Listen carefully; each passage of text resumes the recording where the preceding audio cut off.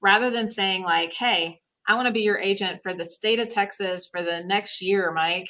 instead, they would say, "Hey, I want to represent you on 123 Main Street for right. the next 30 days. Well, that's more palatable for me as a consumer to sign. Right. Or they could say, I just want to go and show you this one house and you pay me the 50 bucks and you can have it for that address and for one day. Sure. So we are going to see much different terms on some of that um, on how to go.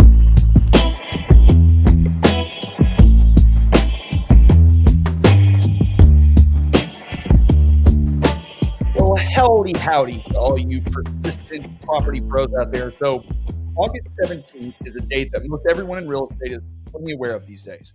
Um, that's the date that all the changes from the NAR Commission lawsuit officially go into effect. But if you're in Texas, are you aware that there are changes coming your way on June 24th also, which is less than two weeks away? And what are these changes and what do we need to know about it? Well, you are always, as always, you are in the right place. This is the Texas Real Estate and Finance Podcast. And I'm your host, Mike Mills, a North Texas mortgage banker with Geneva Financial. So that means, along with this podcast, I also do all kinds of home loans. So if you know anyone that needs a little help, give me a shout. But Today, we are here to break down all the new updates coming your way on June 24th, what you need to know, what you need to do, and how it's going to impact your business going forward. Because, like it or not, changes here. And now is the time to start making adjustments.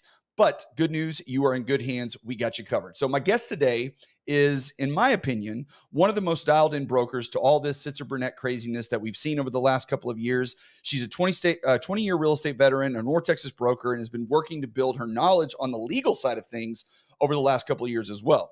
I don't know. I don't know of anyone that has their pulse on what's coming down the line more than today's guest. So I'm excited to see what she has in store for us. But really quick before we start, if you find this information in today's episode helpful, please share it with a friend. We've reached over 4,000 listeners just like you, and we want to continue to grow our little real estate community. And you guys are the fuel that powers this engine. So, like, subscribe, comment, and share. It means a ton um, when you do. So, okay, today's guest is no stranger to the show. In fact, this is her fifth appearance on the podcast. Um, and for those of you that know her, you understand why I keep having her back. She knows her stuff and can break it down in very simple, digestible terms. And she's here today to help us sift through all the changes coming our way. So please welcome Amy Cearnal to the podcast. Amy. How we hey. doing? I didn't realize it had been five. That's fun. Yes, yes. This is your fifth time. Is 134, and you are uh, representing five of those. So I appreciate it. Cool. Cool. Um, you're always my uh, go-to expert uh, when it comes to all these new changes. Now, this one today is going to be very specific to Texas realtors. Um, you know, we talk a lot about broad topics, uh, but we're going to get a little bit more into some of the changes that are coming um, June 24th. Now, from what I understand, these aren't necessarily, you know, something that is going to immediately impact you, but you need to be aware of it because this stuff's going to be available. So let's just yes. get right into it. What? Yeah. Uh, and, and I will say it does have some aspects um, that might affect people in other states too. If you're okay. at a brokerage or at somewhere in your world where they have not modified forms yet, you may be looking for how can I build forms. So, like geeks like me that are really into this like i've been collecting forms from across the country of like what are they doing? What are they doing? With some of that? So yeah. anyway that might be useful as well. Yeah what, what, a, what a great hobby collecting forms. I mean it's like you know you're living that fast and exciting life amy. I went from uh, like reading all the court documents and now we're reading all the how, how is the um how is the law stuff coming along? Just out of curiosity real quick.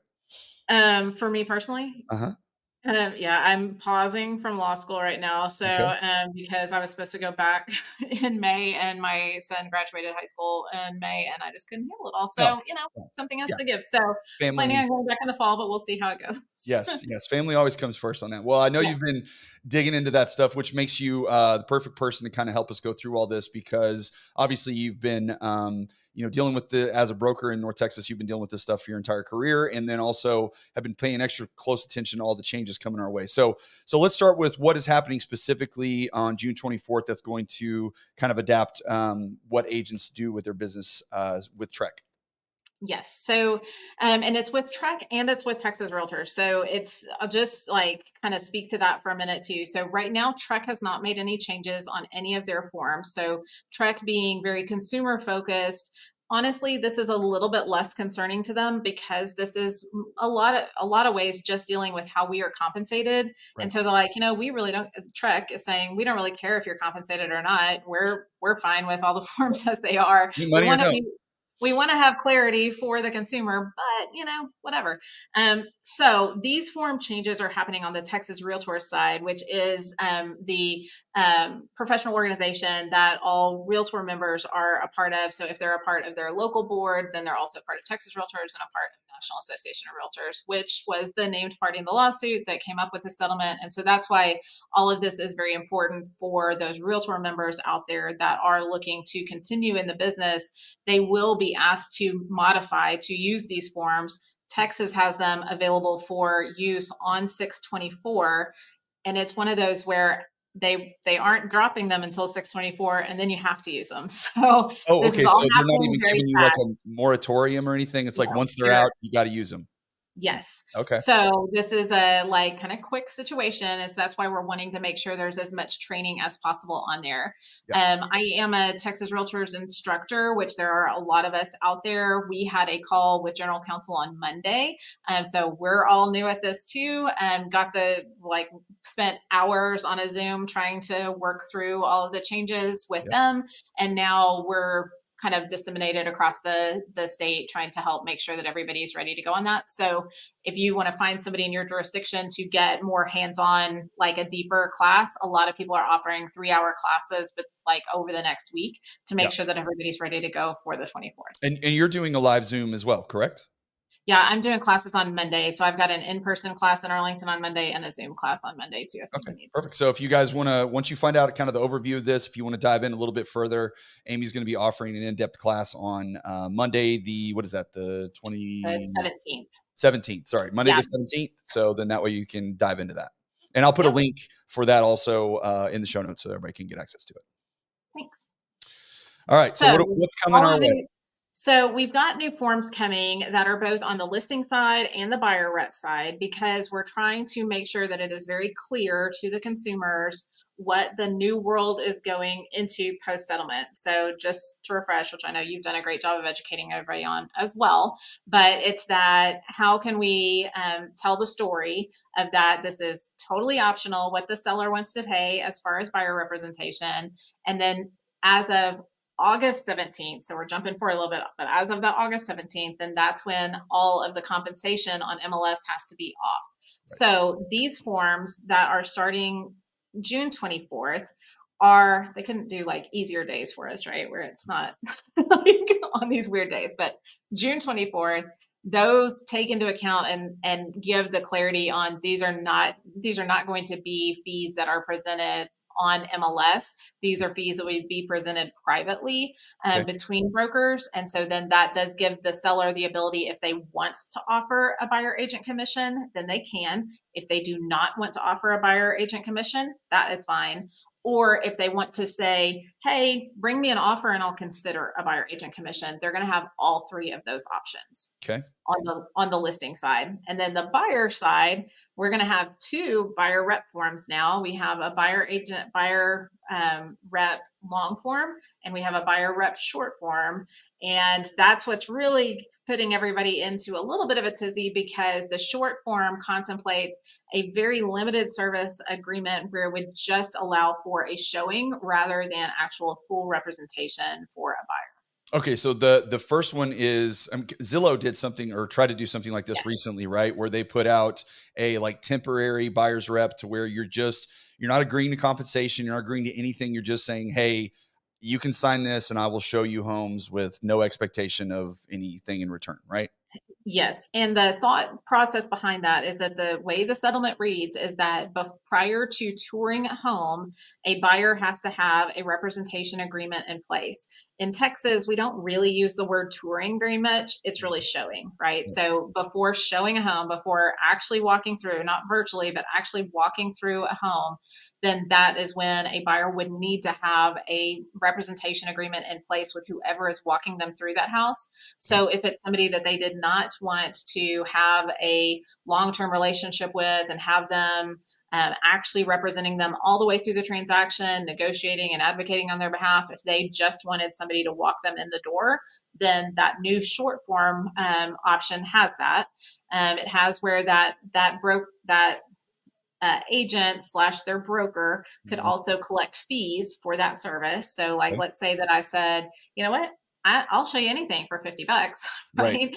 So I could collect 50 bucks and then that would have totally fulfilled that that showing agreement, that buyer rep short form. And so then that would give me the ability to to let to service, sorry, that buyer so that they could see the home, but also not create any obligation for them to pay me a percentage or a flat fee or anything beyond that five that 50 bucks. Now, if they decided, oh, I really like Amy, I want to work with her more. I want to, I, I want her to represent me on this. Then a, a adjustment could be made and a new form, either the new buyer rep long form or a um, there's a, a full service section of the buyer rep short form could be used to modify to bring them into whatever fee structure would be appropriate at that time and service level structure are those short forms are they like time sensitive? Do they have like a time like for a week or you know whatever?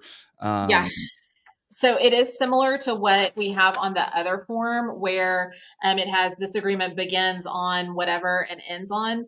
So we are seeing though that um, a lot of agents and their clients are utilizing both the buyer rep long form and short form to be for however long or short they wanted it to be. Mm-hmm. I, I, personally think it is hard for a consumer to sign a really long term buyer rep form right now when they don't know what's happening. Yes. It's also hard for them to sign a really broad market area on there. Right. So rather than saying, like, hey, I want to be your agent for the state of Texas for the next year, Mike.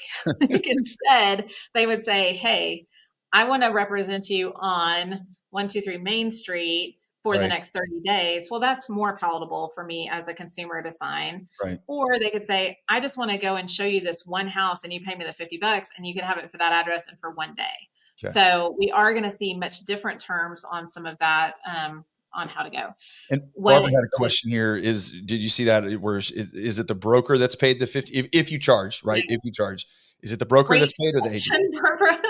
like, yeah, you teed it up perfect. So that's the kind of problem and what threw the entire Texas Realtor instructor community into a tizzy on Monday when we saw this form for the first time is like, um, yeah, who does collect that fee? Because it says on the form that the broker is to collect the fee, and that's how Texas has always been set up: is that the broker collects the fee. Yeah. Um, but what keeps the agent from doing things out there without the broker attached? And there, you know, the the independent contractor agreement should. So the broker should kind of shut that down and create a mechanism for their agents to pay the broker or for the clients to pay the brokerage directly and then the brokerage to pay the agents and and the reason why that is important is that that way we can track who what representation agreements are out there and track for tax purposes what income is going to those agents so that those dollars are captured on a 1099 this doesn't sound complicated at all. It sounds really, like it's going to be so easy. Yeah.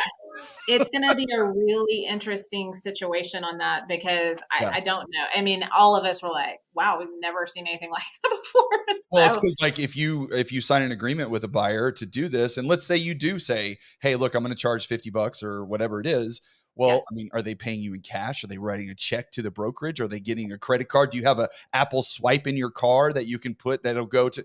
And then how are you reporting on your taxes? And who, you know, and then if they if somebody does do something somewhat maybe where they don't pay the broker and they pay the agent individually because let's let's not pretend like that that's not going to happen yep. then what's the, what are the legal ramifications of that? Is the broker respond i mean there's so many layers and is there any sort of receipt or anything on this page? Nope. No. none of that. We don't have any so it is um, that that's a tough one. Now brokerages could say hey we just don't use the short form. So that right. they just like you know kind of prohibit their agents from using it to help prevent that. Yeah. It's just hard. Once this form gets out there it's going to be interesting to see how it goes.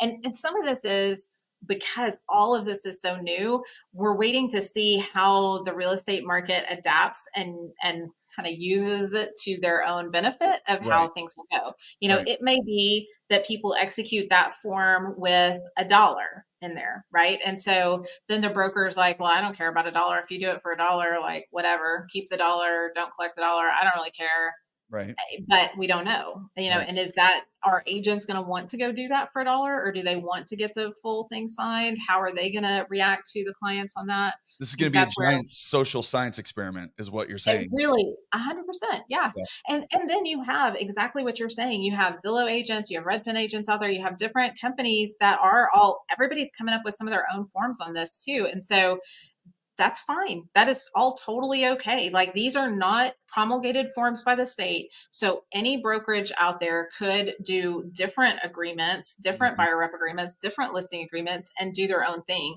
And so that's what we're to like, are the consumers going to react to that positively? Or are they going to say, well, I'm used to signing this? Or are they going to say, I, I don't really know. And so it's fine. I'll sign whatever. So I'm curious now for your opinion, right? We, we know what's happening here, but I want to know your opinion. What I mean, is this short form thing a good thing? Is it? I mean, I know eh, who knows at this point. We won't know until it gets into play. But you know, where, where what do you? How do you feel about it? So I met with our agents on Tuesday, and I have told them for a long time, and I was like, I was like, guys, this has not changed in my opinion. Is yeah. that we have really smart attorneys out there that work for our Texas um, Association, that work for our national association. And by virtue of those attorneys and their work, they created the five page buyer rep agreement.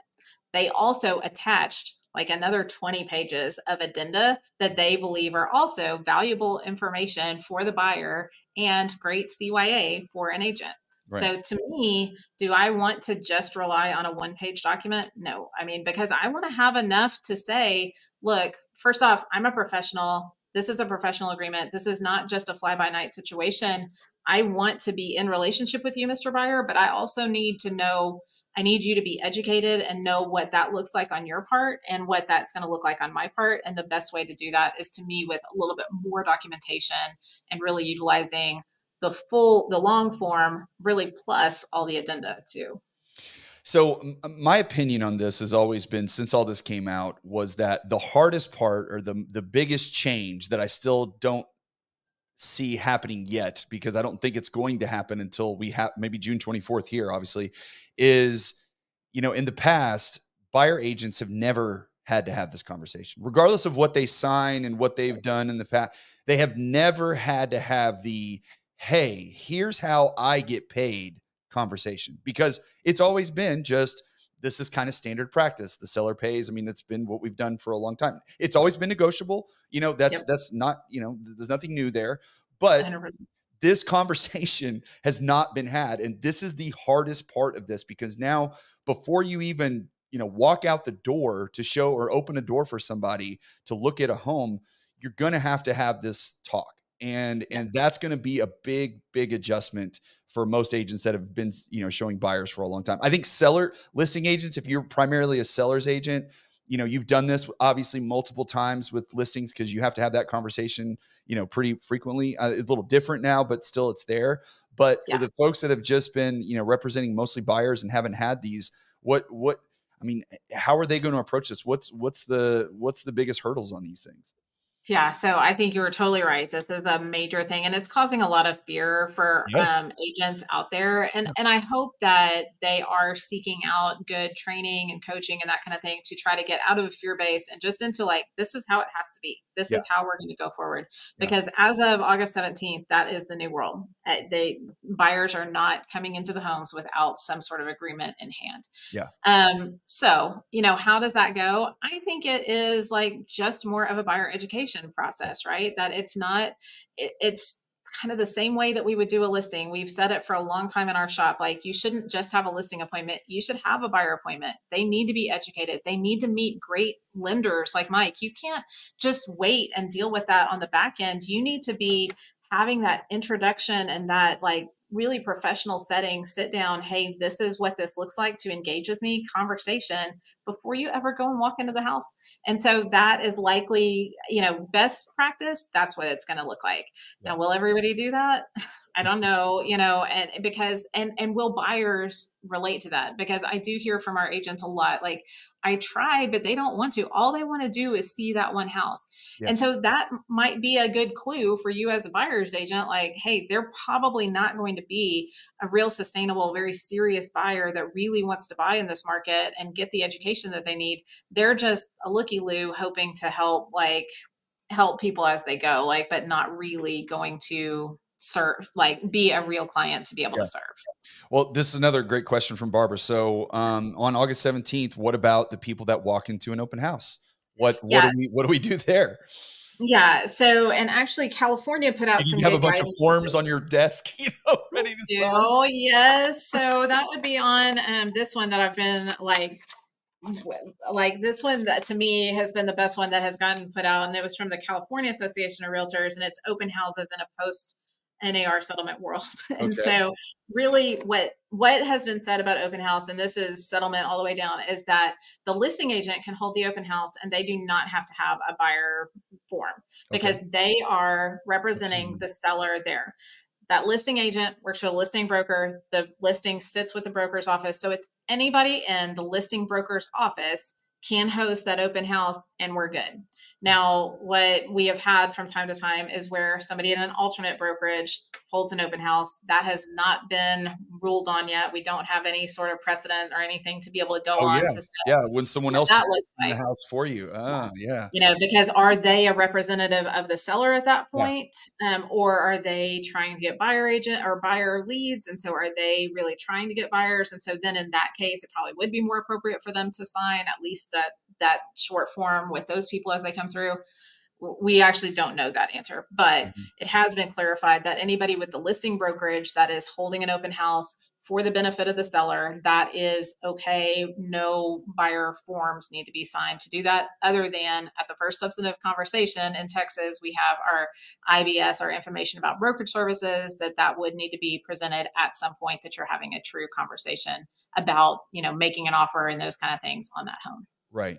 Um, can you can you speak a little bit to because so here's another thing that I see, you know, kind of leading into all this is that you know we've existed in this world in real estate for a very long time where you know your best friend calls you and she wants to go see this house up the street and um you know it's like let's just go look at it i'll you know do whatever i got to do but it's it's not a big deal like i don't really care you know blah blah yeah. blah right but but now we're in such a i mean i don't know how much you i know you pay attention a lot on the real estate side but even on the mortgage side now the amount of litigation and the amount of lawsuits that are coming out against mortgage companies against real estate companies against i mean any you name it like they are hitting. So we are in this world of litigation like zeitgeist where everybody sues everybody right?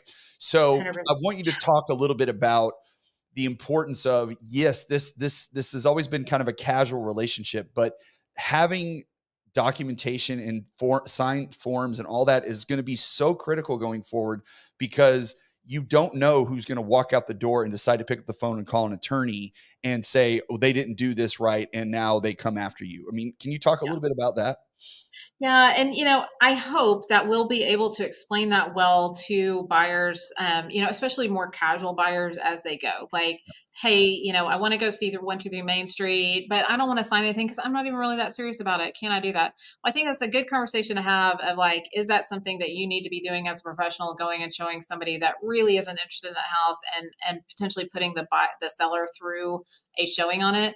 Um, that's number one. but number two is really like helping them understand there's no obligation if you don't go forward potentially. Like really, it's it's a procuring cause situation. If I procured you to buy that house, then I'm owed something.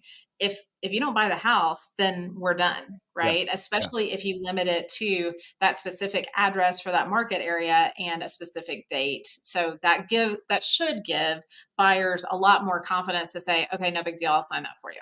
Right. So that's where I think we'll probably get to is where there's a quick app or something that we push out. And so on every showing, it's yeah. super easy to like have them click through right before we walk in the door and, and we're good. But that is probably more of that short form side or the the Zillow side, some of these others, that is not going to actually give us the ability to negotiate and represent those people well, then we would have to go to the next level of getting an actual representation agreement in order to collect commission on it. Yeah, there'll probably be a bunch of little cottage uh, businesses and industries that kind of pop up from this just for ease of ease of getting some of this stuff done that you have to do. That maybe, I mean, it was always, I mean, correct me if I'm wrong, but it was always kind of required. But it was just kind of one of those things where, you know, if they were just going to go look at the one house, okay, you go show it to them. You don't have them sign the rep because I know that it happened because I hear people it's like, well, I didn't have them sign a buyer rep on this one because I just showed them one, and now it's like, okay, well, that that's not an option anymore. Like you have to do that no matter what, not just because they may or may not buy that house, because you got to protect yourself. Like that's the most important piece yes. you have to understand. Yep. Yeah, I you're totally right. And so that's where like a lot of really quality agents, which I mean are so many out there, are like, this is not that big a deal. Like we were already getting buyer rep sign. We were having those buyer meetings before because that's the best way for me to build my business and to know that I'm not like running around and showing properties to people who have no business seeing those properties. Yeah. So that's all fine. Like we're this really doesn't change very much. Um, where it does change a little bit more is back on that listing side, is because we are really having those more substantive conversations with the sellers about different compensation models and options on how they market their home. Mm-hmm. And so mm-hmm. we're having to modify that conversation a little bit more. So the buyer rep side, like maybe we're just pushing that conversation up a little bit and getting actually getting the stuff signed faster. Right. Right. On the seller side, we're actually having to modify that conversation more and really make sure that everybody's on the same page with what does the seller want to offer when they are listing their home. Are these uh, these new forms coming out in June? Are there some seller side as well? Yes. So okay. we've got um, both sides.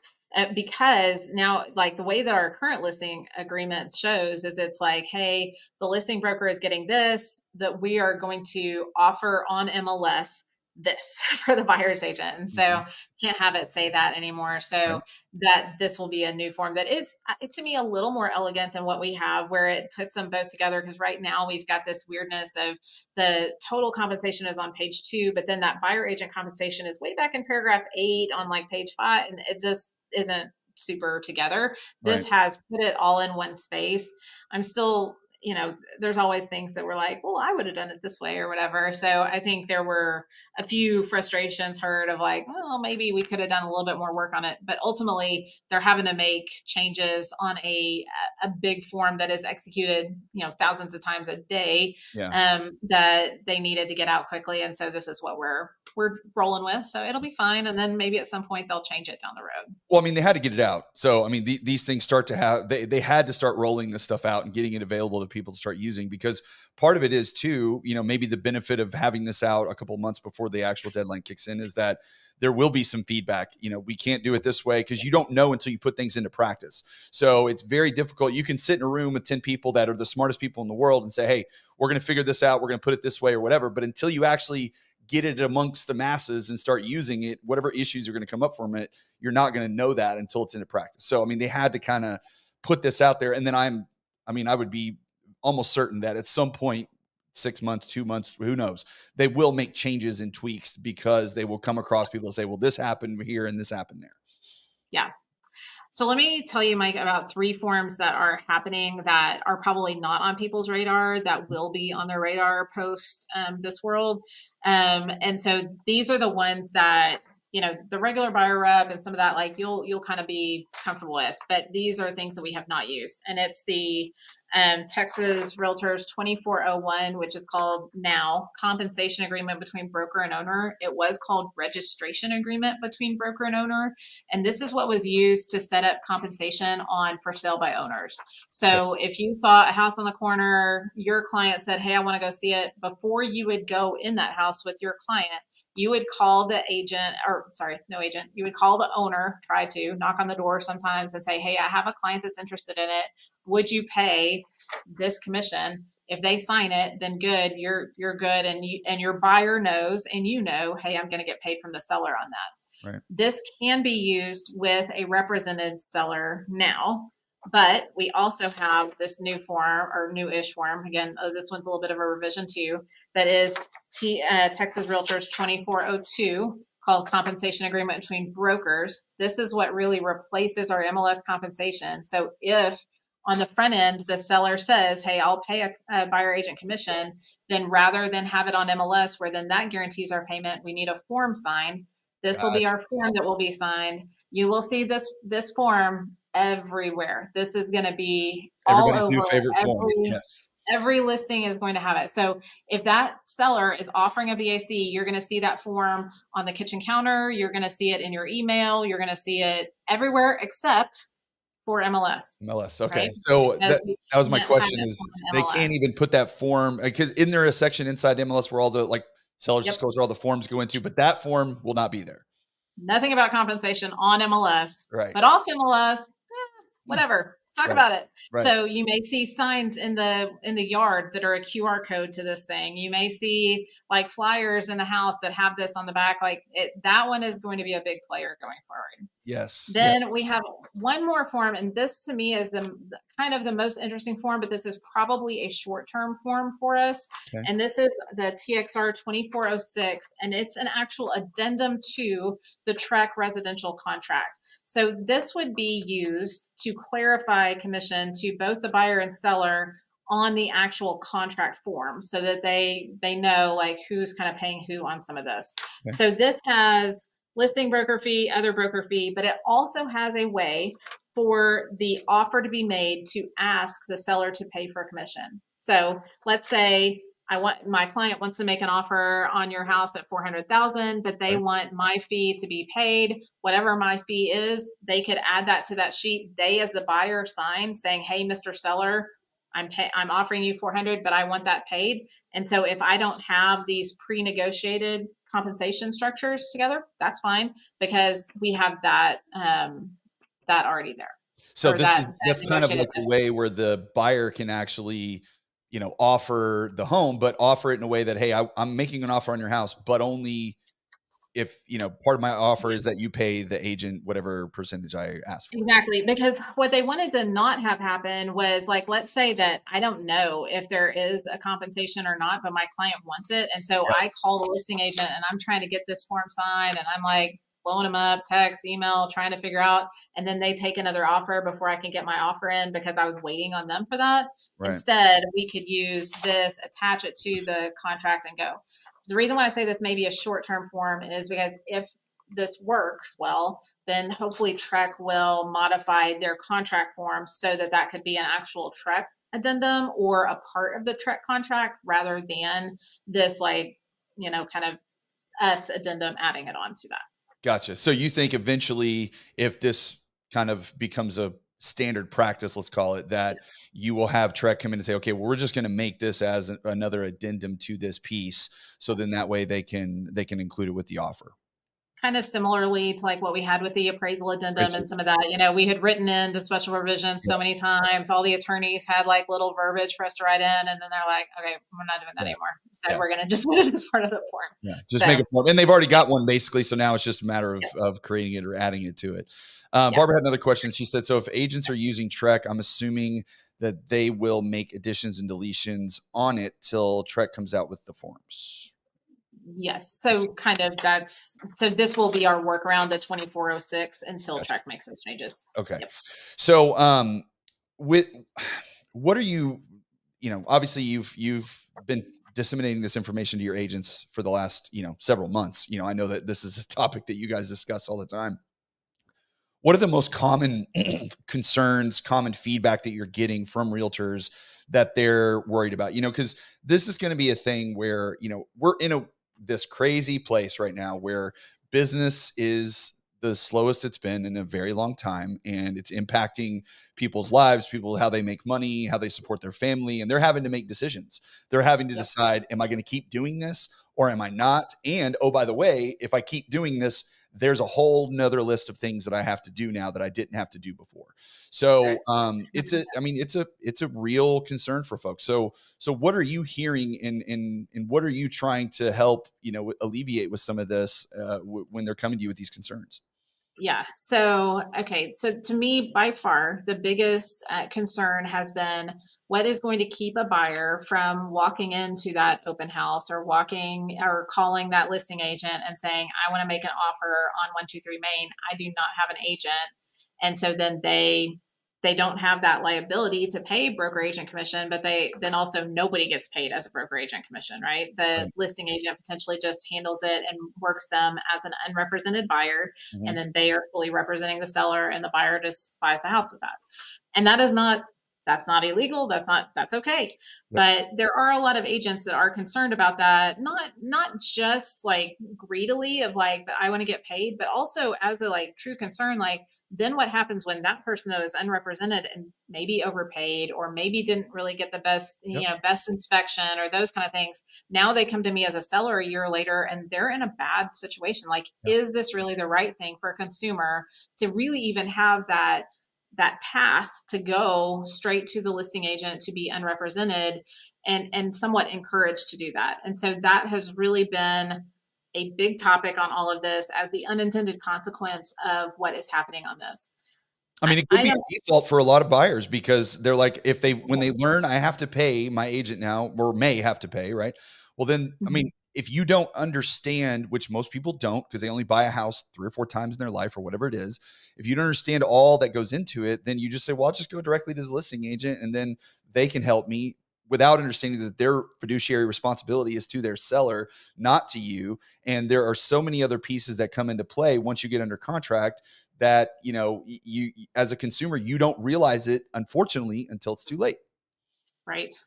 And so that's where, you know, I think you just nailed it on the head. I mean, I think it's just this concern of are they going to get taken advantage of? Are they going to, you know, are they just not going to really understand where they should be on this whole thing and what you know what that looks like. And and i don't know what that looks like. I will tell you like we have had um, definitely since uh, october an uptick in unrepresented buyers in our practice.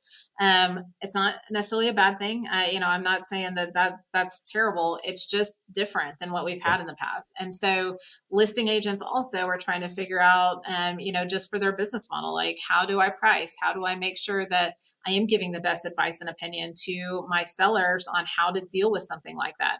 Is it a better deal for them to have an unrepresented buyer because maybe they don't have somebody asking for more commission on it? Or is it a worse deal because maybe that's not as likely a deal to close? It's an individual situation happening on every deal and that's just having more conversation and more a, a, little bit of fuzziness for both the buyers and sellers on that of just not being sure of what path they should go on um, you know as realtor members, like we are advocating for home ownership, but we also want responsible home ownership. We don't want people to just buy homes and not know what they're getting into, buy homes and not know, you know, really what those payments are going to look like until the end because they just logged in with somebody online and didn't have a quality lender that they were working with, like what you do for your clients. That that's a problem if we have that as like kind of the norm going forward and that has been the norm in many other areas of the world. So um, i was on facebook the other day and i have a friend that's buying a home in germany and they're like you know it's really hard here because we don't have buyers agents and so we're having to do all the legwork and we really don't know what we're doing yeah. And so, you know, not only do we not know the language, but we're also buying this house in this other area. And so I was thinking about that, like, man, she's right. Like, that is tough.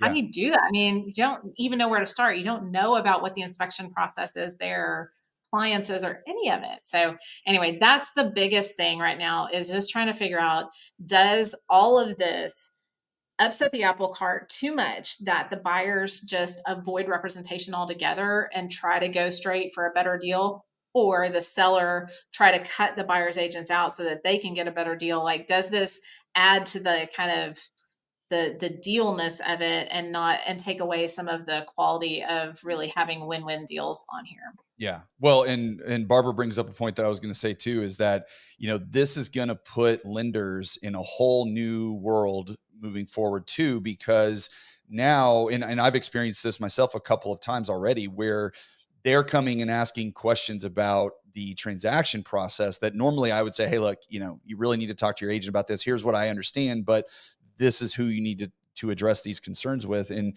and that's going to become more and more of a deal. And and I didn't even really think about what you just said about again, this is who's educating the consumer on what to do right? Because right now, if you're a you know a Gen Z and you are on TikTok and and eh, whatever all the time, and you see lenders talking about, oh, I'm going to call this lender, I'm going to call Quicken, and they're in Chicago, and I'm in Texas, and I'm going to talk to this person, and more often than not, they're they want to get you excited. They want to say, yeah, you're pre-approved, go buy this house, whatever.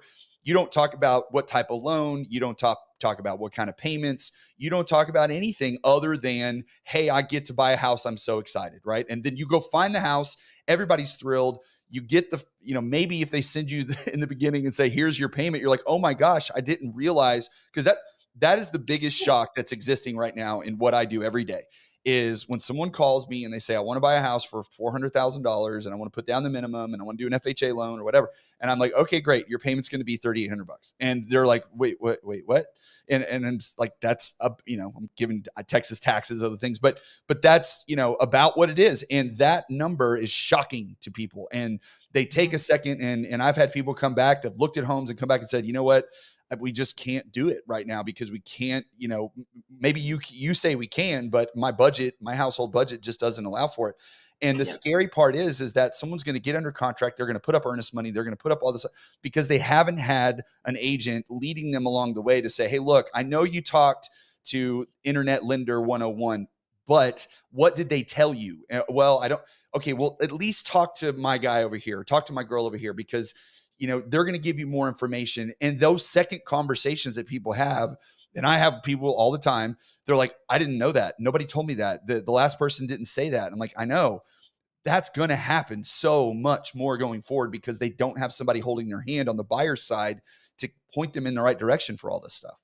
Right. And and it's because they're trying to save money, which we understand. Yes, I mean, you absolutely. see it every day, we see it every day. I mean, it's a big dollar expense, but it's also a big amount of hours and education that goes into what we provide to help make that all look so seamless. And so realtors have done um, you know, it uh, kind of famously, but this isn't just me talking, but bad job of really helping the consumers know all the pieces that we do because a lot of it is done behind the scenes for them. And they just, they don't know when there's like a freak out on the lender side because your VOE came in, you know, short, you know, said they were 1099 instead of W 2. And so we've got to talk to this or that. You know, it's like these random things that the consumer doesn't know that even yeah. any of that happened because we've been sheltering them from that now you know are they going to do a transaction to to like think like oh it's going to be that easy and then things start to fall apart and they've got they've already gotten too far down the path where then it's harder to bring an agent in on it to help clean up the mess?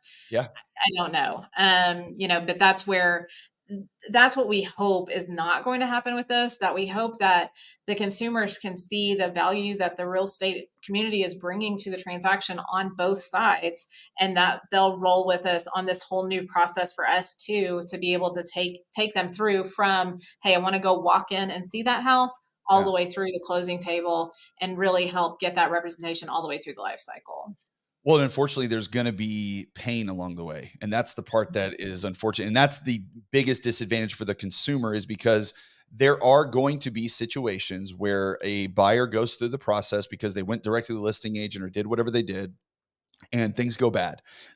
and they're going to be upset about it and they're going to have things to say about it and they're going to be on social media and they're going to blame listing agents and lenders and all whatever whatever they're going to do to be to handle that and then their network of people is going to go, okay, they went through this experience. I don't want to have that experience. So I probably need to call a buyer's agent and have this conversation because I don't want to go through what they went through.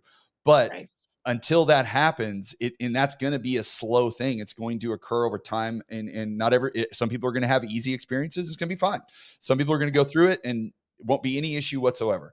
But there are going to be circumstances where it will be a problem. And and those that go through those pains and share it with the world, that's when that's when it really starts to get out there. And it's unfortunate because I agree with you as an industry, and not just realtors, lenders, all of us, we we have to do a better job at educating these people when they go into the process, which is why, you know, especially with realtors, you see when social media comes into play and you see people out there on Instagram and YouTube and Facebook and they're making videos, there there's a small group of people that do it. There isn't that many people that are actually out there making videos explaining what earnest money is, what a home inspection is, just the 101 basics of buying a house. And doing that kind of thing and putting yourself out there a little bit and saying, "Hey, look, this is why it's you don't have to say this is why you need me, just like this is how you buy a house. This is yeah. what it takes." That's the kind of thing and those are the people that are going to have the biggest impact, I think, because the consumer is going to be looking for this stuff because they're not going to have their friend that they can necessarily pick up the phone and start asking all this to like we used to have with this new world that we're in. Yeah, it's funny. We've been talking about that. Spencer and I have been talking a lot about that as well. And like why why agents aren't doing that why they're only focusing on the fun side and not on that that other side. And so part of it is the consumers just don't really care about earnest money and that kind of thing. Like they're not hungry for that. They are hungry for the fun tiktok videos of like the agent that jumps in the pool or like you know that they follow a little dog around the house as they go through whatever. Mm-hmm. um, but there is there is really that value that we can bring to give freely to all out there. Um, I think there's just a fear based from the agent side that they're like, well, I don't want to tell people about earnest money and that kind of thing because then they're going to just not use me too. They're going to go straight to the listing agent.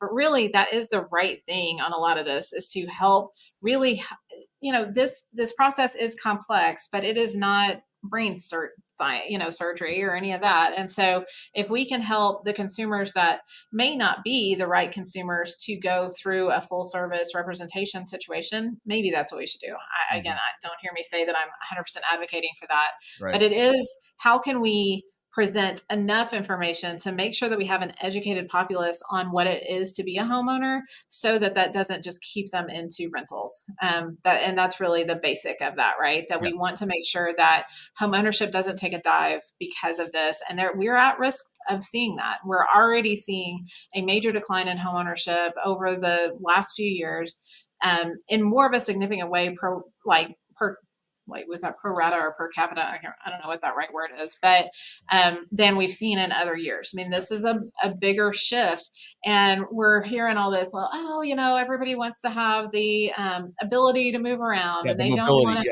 Yeah, yeah, yeah, and that's, that's why what, uh, the New York Times tells you, and the Wall Street Journal tells you. Yeah, that's not true.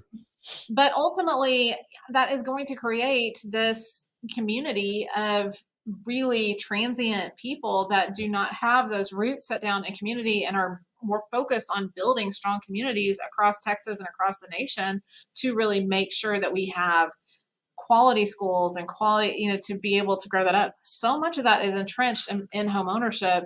And if we let something like this take a step back on it, that's going to be really unfortunate for everybody. So hopefully, this will be a little bit of a blip and we'll be like yeah remember we changed how we did it in 2024 and then it was all fine. So that's that's my hope for these forums. And really i, I hope that everybody takes that to heart and really helps explain that to the clients that they're working with on a daily basis and that kind of thing. Like this is not like the world has not ended. Like you can keep going in a very similar way than to what you've done in the past. Well, it's a look, it's a big we live in a big country and a big state and a big plant. Like there are a lot of deals and transactions to be had. There's not as many as there were, right? Um, it's less and and it's gonna, in my opinion, it's gonna continue to be less as we move forward a little bit because of the price of homes, because of like what you said. I mean, look, these days or I, I, saw something the other day. So Gen Z, which is uh, millennials, by the way, are the biggest homeowners in the country right now. They just overtook baby boomers, but but Gen Z by they they use this metric is basically by the time they were at 30 years old how many of them owned homes? Okay essentially. Well boomers by the time they were 30 it was like 65% or something i don't have the exact numbers but eh, gen x was like 55 and now gen z it's just getting like to 50% of the so it is declining overall when you look at the different generations on how soon people are becoming homeowners but part of that too is that household formations are happening later. We're having less kids Okay, population decline is is a thing, whether people realize it or not. But people are having less children; they're forming families later for many, many reasons. Okay, which is also kind of contributing to the idea that oh well this next generation just wants to be transient they want to live and rent and be able to move and have mobility and all that stuff that is true until you have children once you have children, your life and your priorities change. Then bouncing from town to town every two years and living in a different house isn't what you want to do. It might be what you have to do, but it's not what you want to do. And so when you when you know you see the corporate media telling you that you know the next generation doesn't want they're not really into home ownership, it's like that is not that is not an accurate statement. And and the sad part about it is is that when homeownership declines so do the neighborhoods so do the areas that that people already currently own homes in because when people become transient you don't put down roots and you're not in the same schools and you don't form the tight knit communities that you have with your neighbors and the people that you've lived around for 10 years because everybody's taking care of their house because they all have you know a vested interest in that. That's when you start to see the slow you know break apart of of these these communities that we fought so hard to build. And and that's the part that's the most concerning to me in the long term is just that until we solve this problem of the cost of homes being what they are and and and you know rates are going to change. Like we're we're in a high rate environment right now but you know inflation the inflation report that came out yesterday was flat to coming down some unemployment's going up you know all of these things are going to lead to at some point rates changing they're not getting into the twos and threes again unless we have a major issue but yeah. four, five, six percent is not unreasonable. And but at $500,000 median home price, which is where we may be by the end of this year, that becomes a problem. And, you know, just for, I, I did a story on this on my uh, last market update, but are you familiar with the company RealPage? Do you know who that is? Um, yes, but so so they're a they're a for anybody that doesn't know, they're a software company that their entire business model is they manage rentals essentially. So they they help put out uh, you know your rental agreement, they help you find uh, uh, lease, they uh, pull credit, they do all the things. One of the other things that they do is they help you raise and lower your rent as as a landlord. Okay, so if you're a landlord and you own properties, this is great. If you're a renter, which is what more and more people are moving into, this is not a good thing because what's happening? There's a class action lawsuit right now that's going on in Seattle, where, or excuse me, um, in Atlanta, where they owned something like 65% of all the available rental units in a particular market. And rent since 2016 in that area has gone up 80%. Okay. Because what they do is they just go across the board and everybody raises their rent 5% or 3% or whatever the number is. And that you want to talk about antitrust, right? You want to talk about collusion. You want to talk about. That is what that is. Now, there is a lawsuit going against them right now, but I got news for everybody. They're just going to get smarter on how they do it. They're just going to do it better. They're just going to come up with other ways. But this is the kind of stuff that's happening to where, yes, right now, dollar for dollar, it is it is cheaper to rent a house than it is to buy. There's no question about that. I don't. I mean, I don't think you can argue that. No, However, I no, you're totally right. Long term, when you look at those type of trends that are occurring and you understand the how equity works and how owning a property and its value over time there is no debate on that side that owning is always going to be the better route to go but when it becomes to a point where it's so unaffordable for people that they don't even have that option that's when it gets a little concerning yeah, I, you're totally right. The other thing that we're seeing is on those properties where they are tenant occupied, is we're seeing a degradation of that product because yes. there's not homeowners that are continuing to improve, right. and there's not a lot of incentive for the landlords to do that either. And so then again, so now you've got a tenant in a lesser than property than what a lot of other people around them have that are owners that are continuously improving. And so then what does that do for the psyche of the community and all of that too? It's, it's really tough. Well, and if you're a homeowner in that area, that affects your property value, that affects the neighborhood that you're in. So you don't want, I mean, there's a reason that when neighborhoods turn rentals, you see people, you know, moving and getting out of those areas because it's not because of the people, it's because of what happens to those houses. Yeah, Spencer was almost like knocked down the other day. Um, he went to go do an inspection and, or to to be there for an inspection, and the neighbors saw him coming up, you know, in kind of realtor clothes and car, and came up and were like, "Is this going to a landlord? I can't, we cannot have a rental oh, in this wow. neighborhood."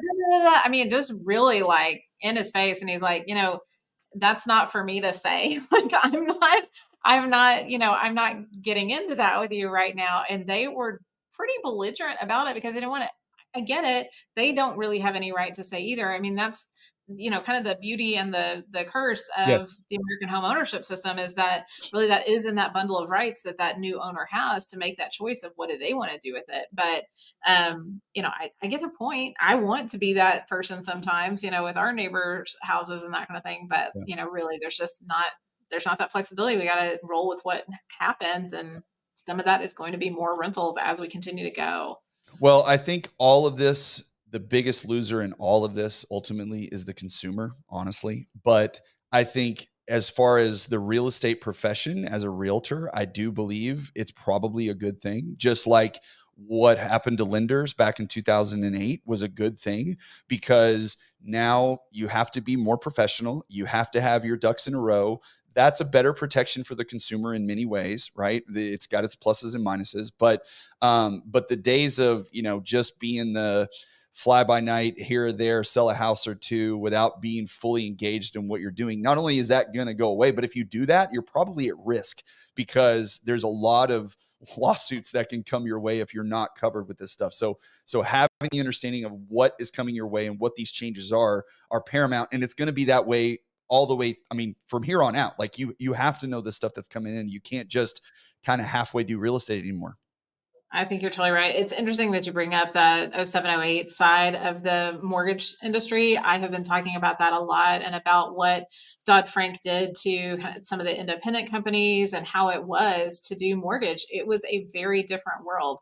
And then we had the regulation come in and it made the cost of doing business more. So, which there's a great book by Speed of Trust by Stephen M. R. Covey that talks about that. Is that as we increase some of this litigiousness and as we increase some of this government interaction, like it increases the cost of the overall transaction that's likely what we're having here. That's yep. what happened in 08 with the mortgage crisis. And now here we are in a very similar situation that real estate agents do. There is a path forward, like we've, but we've got to show our clients how we can serve them.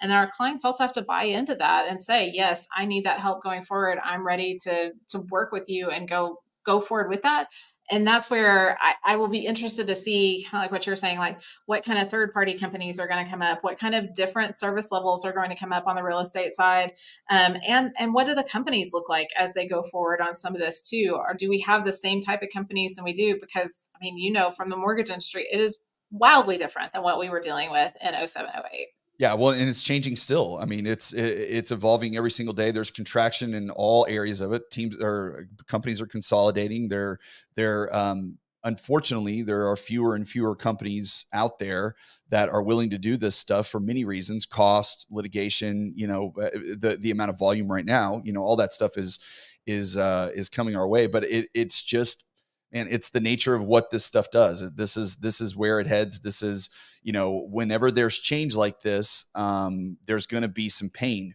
But the other side of this is that and this is always a hindsight 2020 thing but the amount of opportunities for those people that are innovative that can that can look at this situation and go there's a there's a there's a there's something here that I can do that's going to set me apart from everybody else. And and maybe that's not buy and mm-hmm. sell homes. Maybe you come up with an app that helps you sign contracts better. Maybe you come up with a QR code that helps people, you know, whatever, not come yeah. up with a QR code, but but you know what I mean? Just something that is that fits into this world of real estate that you know so well, but it's another avenue for you to have success and make a business. And and I I think that, you know, there'll be a lot of people that fall by the wayside because of all these changes and there already has been and it's going to continue. You know nar i don't know if you saw nar's membership actually didn't fall that much this year. It went down a little bit but not what was expected.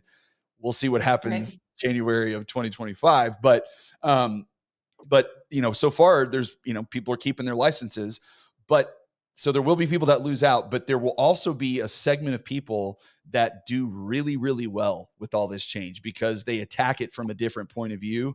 And, and you just have to decide as an individual who you're going to be. Yeah, absolutely. And and I, I am totally with you. There are going to be some really cool opportunities in this business. And there's going to be some really um, well served clients that really get potentially a benefit of a more creative populace of real estate agents that aren't just going down the path this to this to this to this, but they really are taking it, taking this business seriously and making sure to level up what they are doing for their clients as well. Yeah. No, I uh, I can't thank you enough for for coming and, and going through these. Um, you know, there's just constant changes that are happening all the time, and and you know, I think too many people want to stick their head in a hole and not look at this stuff coming forward and, and decide to make these changes and decide that they're going to do something different. Um, they're they're operating from a fear based mentality, and you just can't do that right now. Or you know, unfortunately, you just need to find something else. But but having folks like you that understand this, that have gone you know elbow deep into all this, and and know what's coming, and being able to explain it to everybody, and and and essentially give the idea that hey, look, it's going to be okay there's going to be things that, that happen and there is some of it's going to be painful but it's going to be fine. We're all going to live we're all going to survive. You just have to find your way through it. So so i really appreciate you doing this for me and and hopping on and, and telling us all about this. And anybody that wants again want to find out more please uh, join amy for her live zoom on monday um, because she's going to go into all of these forms in greater detail. I just wanted her to come out and kind of give us an idea of what's coming so you guys could be aware. And then um, you know we gotta gotta navigate through this new world. So you know, knowledge is power. So you got to get it out there. Yep. Yep. Sounds good. Well, thank you, Amy. Anything else you want to leave us with before we go? No, I appreciate everything that you're doing to keep us all informed. Thanks, Mike. Okay. All right. Well, everybody have a great weekend. Um, you know, it's it's finally stopped raining. Now we're probably going to get into the 130 degree heat coming up soon. I guess I don't know. Hope the heat dome doesn't hit us again in North Texas, but uh, but it looks like it may be coming our way. So y'all have a great yeah. weekend. We will be back on. Uh, I'll be back on Tuesday with another market update, and we'll see you guys next week. Hi guys.